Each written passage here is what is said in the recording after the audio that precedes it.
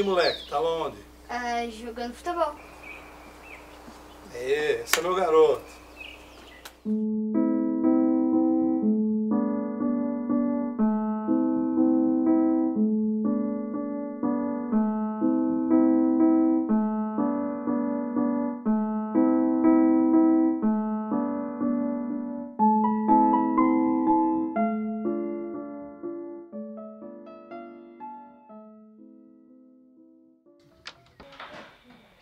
Golpe militar, um atentado à Constituição brasileira.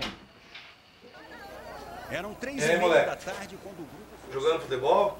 Sim, pai. Não foi isso que vocês sempre quiseram que eu fizesse da minha vida? Cala a boca, me respeita, rapaz. Quando você estiver embaixo desse teto aqui, tu vai me respeitar. Ah, tá bom. Tá bom?